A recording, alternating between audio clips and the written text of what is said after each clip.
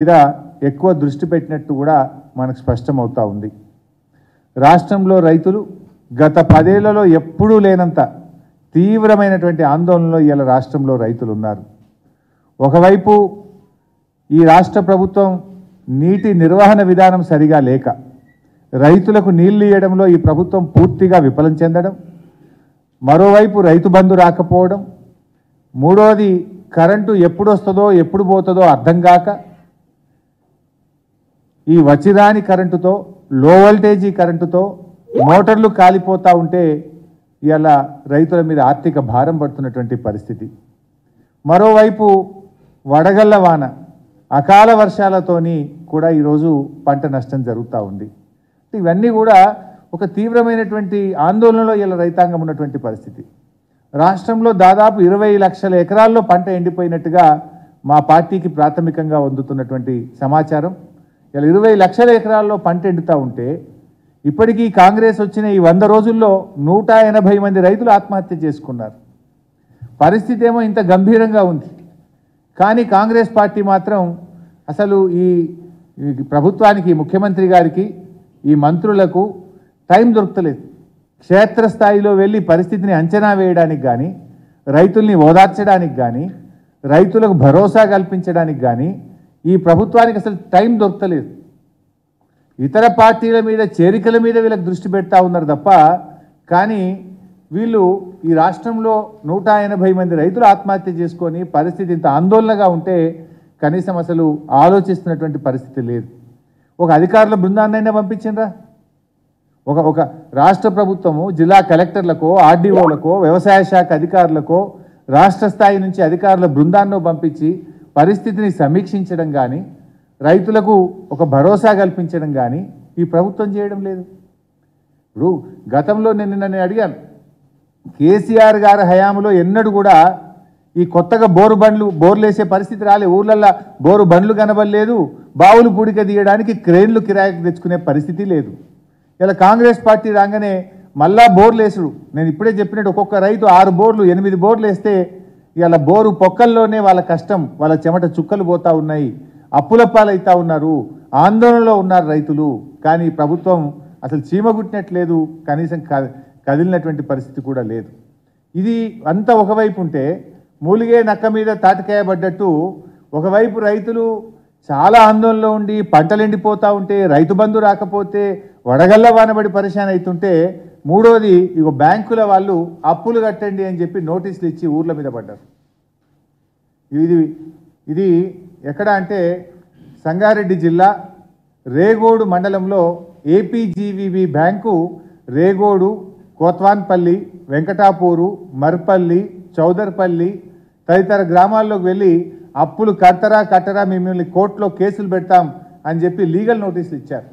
ఇవన్నీ కూడా అడ్వకేట్ ద్వారా బ్యాంక్ ఇచ్చిన లీగల్ నోటీస్. ఇగో ఇది బ్యాంకు వాళ్ళే స్వయంగా ఇచ్చినటువంటి నోటీస్ మీరు వీడియో కూడా ఒకసారి చూడండి ఏ రకంగా కట్టే బాధ్యత మనది. అంటారు సార్, వాళ్ళు రూపాయి కాదు, రెండు వందలు అంటారు. వాళ్ళందరూ రెండు వందలు. వాళ్ళందరూ రెండు వందలు అంటారు. ఇబ్బంది కాదు గవర్నమెంట్ బంద్ అయ్యేది. మనం చేస్తున్నాం కదా ఎవరో చేసేది కాదు కదా. చేయాలి కదా. మనం చెప్తున్నాం వాళ్ళు వాళ్ళు చెప్తున్నారు నాకు రేవంత్ రెడ్డి సంబంధం లేదు నాకు రేవంత్ రెడ్డి చెప్పిండు నరేంద్ర మోడీ చెప్పిండు నాకు సంబంధం లేదు వాళ్ళు ఏదైనా. రేవంత్ రెడ్డి చెప్తున్న లోన్ ఇచ్చినామా లేకపోతే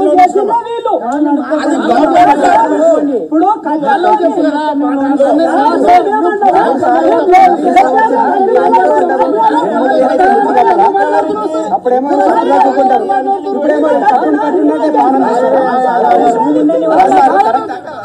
కోర్టు. వస్తాం. వాళ్ళు చెప్పిన వరకు ఇదిగో సార్కి వెళ్ళి సార్ మీద కేసు సార్ ఏం చేస్తాడు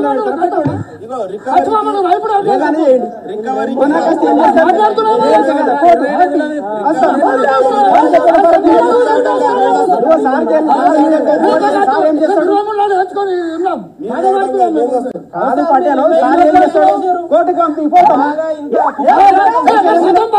నాకు వందల ఉద్యోగం ఎంత మిగిలింది.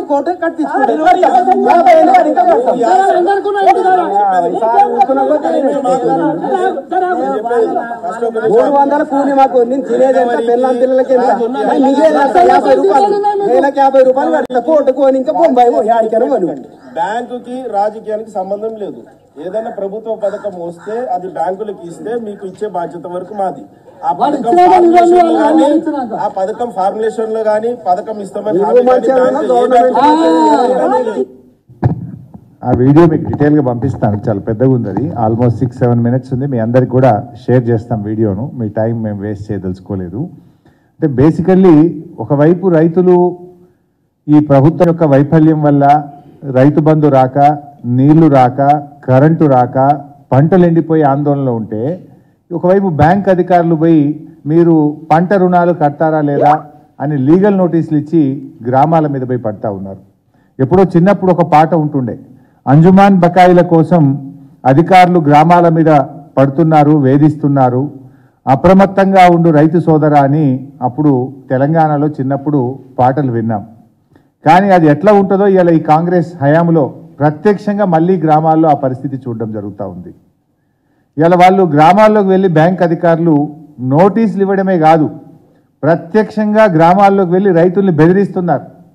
మీరు బకాయిలు కడతారా లేదా మీ ఆస్తుల్ని సీజ్ చేస్తాం మిమ్మల్ని కోర్టుకు లాగుతామని చెప్పి బ్యాంక్ అధికారులు రజాకర్లను తలపించే విధంగా ఇలా గ్రామాల మీద పడి రైతుల్ని వేధిస్తున్నటువంటి పరిస్థితి ఉంది. మరి ఆ రోజు రేవంత్ రెడ్డి గారు ఏమన్నారు?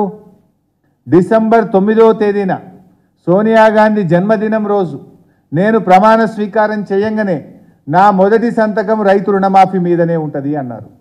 ఏకకాలంలో రెండు లక్షల రుణమాఫీ చేస్తామని చెప్పి ఆ రోజు ఎన్నికల సమయంలో ప్రజలను రైతులను మరి నమ్మించే ప్రయత్నం చేసినారు.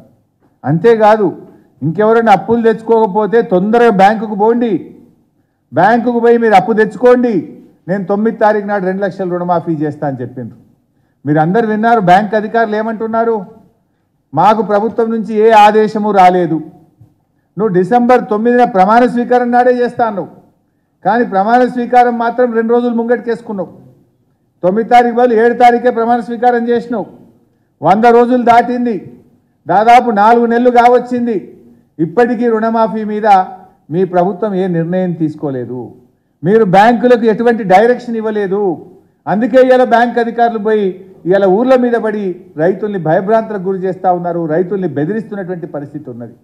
అంటే ఇవాళ రేవంత్ రెడ్డి గారి ప్రభుత్వం రైతుల్ని దగా చేసింది మోసం చేసింది ఈ కాంగ్రెస్ పార్టీ రైతులకు మొండి చేయి చూపింది. ఇదొక్కటే